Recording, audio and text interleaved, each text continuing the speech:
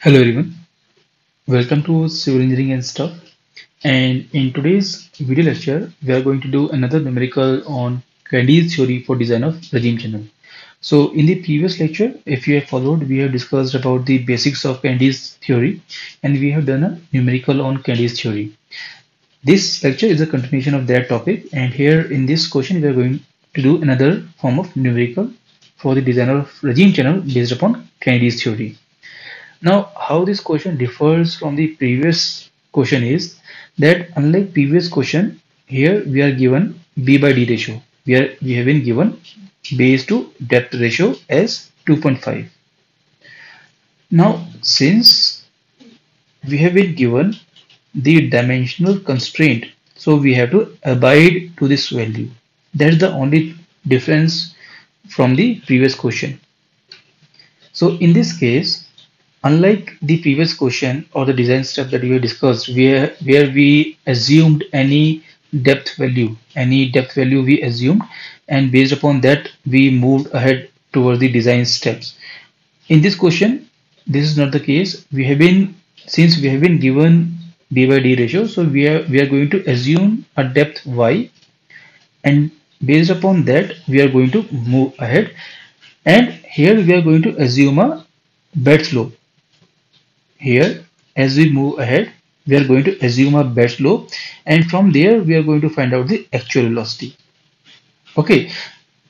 So that is the only difference uh, in terms of execution of this uh, numerical example so the question is that we have to design an irrigation channel to carry 40 cubic of discharge with b by d that is base to depth ratio as 2.5 the critical velocity ratio is 1 and uh, assume a suitable value of Kutter's rugosity coefficient and use Kennedy's method. So let us do the question. So uh, first of all the given parameters are discharge 40 cubic b by d to be 2.5 and m equal to 1. So again in this question we will follow the design steps and uh, by following the design step uh, we will find out the width of the channel we will find out the depth of the channel and width to depth ratio should be maintained to be 2.5 so after that we have to find out the bed slope. So these are the three parameters that we have to find and uh, then we have to see, see that the critical velocity value that was given by Kennedy should be equal to the actual velocity that will be there in the channel. That's that is when we will get the regime channel. Okay. So on and all the design step will be almost same alright so the only difference between this question and the pre previous question was the restriction the b by d to be 2.5 okay so since we are given restriction so instead of assuming a numerical value we will uh, assume the depth to be d and proceed with the same design steps. So step 1 will be to assume the depth to be d. So let us assume depth of the channel to be d. So the next step is as by the depth that we have assumed we will find out the critical velocity by the formula given by the Kennedy. Alright? So the critical velocity formula given by Kennedy is 0.55 m y to the power 0.64 right?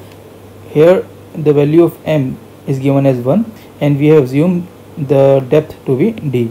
So just putting the values the critical velocity will be 0.55 d to the power 0.64 all right.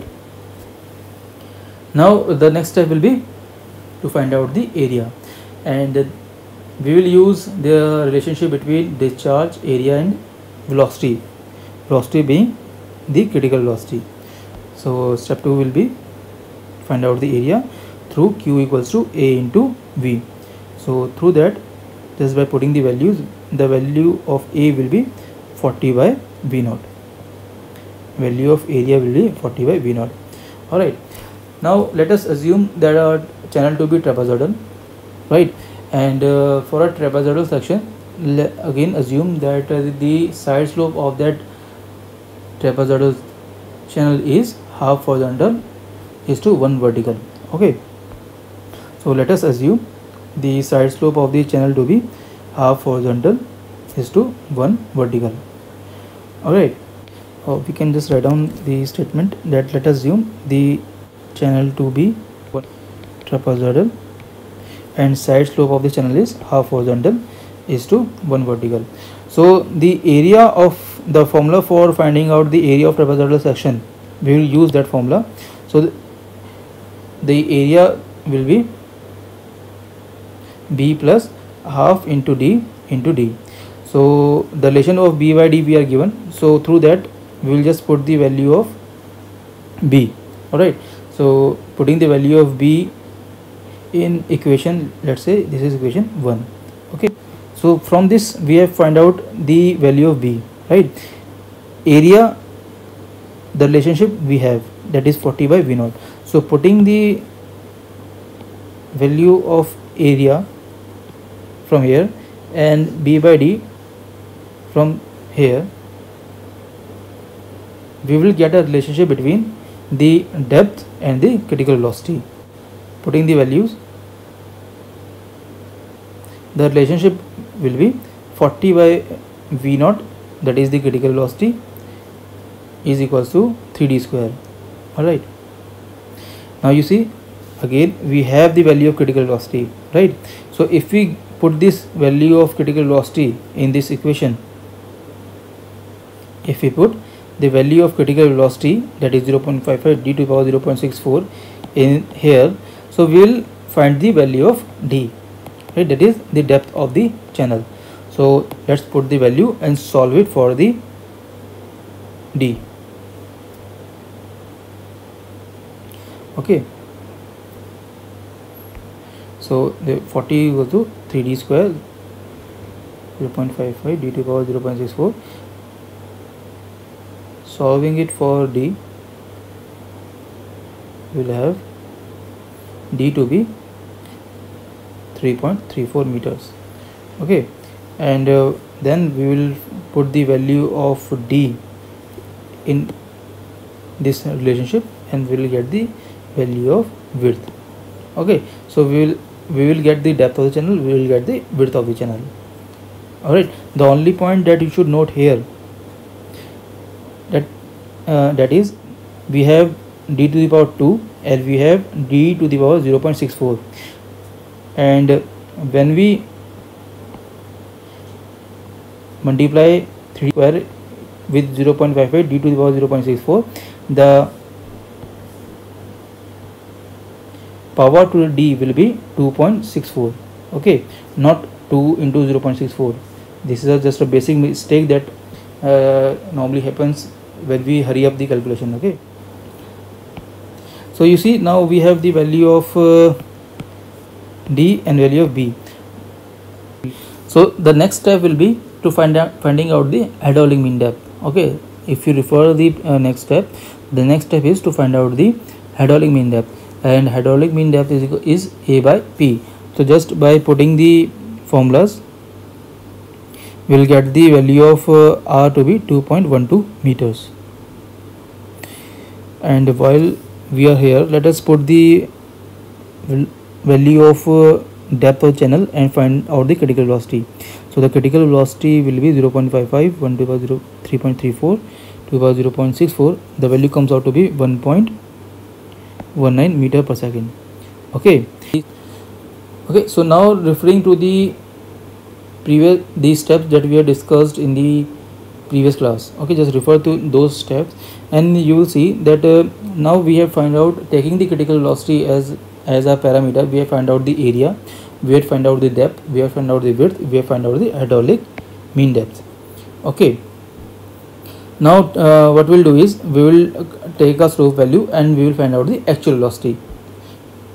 Okay so the actual velocity is c under root rs and let us assume a bed slope to be 1 by 4000 and the Kutter's rugosity coefficient to be 0.023 this is the normal value of uh, Kutter's rugosity coefficient. So taking this value and uh, putting the value finding out the coefficient c and through that finding out the actual velocity to be 1.15 meter per second. And if you here we'll observe that the actual velocity is less than the critical velocity. Okay? And uh, as discussed in the previous class we have discussed that the actual velocity and critical velocity should be equal up to at least two decimal places right? But here since the velocity is differing right? So we will again have to assume a different slope value and check for the actual velocity alright so again what we'll do is we will just uh, redo the so what we'll do is we will assume a new slope value and then we will find out the new actual velocity and we'll see if this new actual velocity is equal to the critical velocity so since here the value of actual velocity is less so what we'll do is we will make the value of slope to be steeper right? So considering the slope to be 1 by 3700 and repeating the same process as above so the value comes out to be just putting the values so this comes out to be 1.19 meter per second. Okay so by considering new slope value by considering new slope value the actual velocity comes out to be 1.19 meter per second. And here the value of actual velocity is equal to critical velocity for the given bed slope okay so the dimension of trapezoidal section that we are going to use for the construction of a regime channel through Kennedy's design method will be the depth of the channel section will be 3.34 meter width will be 8.35 meter the side slope value will be half horizontal is to 1 vertical and the bed slope will be 1 by 3700 okay? So this is the design of irrigation channel based upon Kennedy's method. Alright so this is all for this lecture. Thank you for watching. If you feel the lecture was useful to you, like the video, comment your views in the comment section and share among your friends this lecture. And for more videos like this, subscribe to the channel and press the bell icon for the regular notification. Thank you for watching. Have a nice day.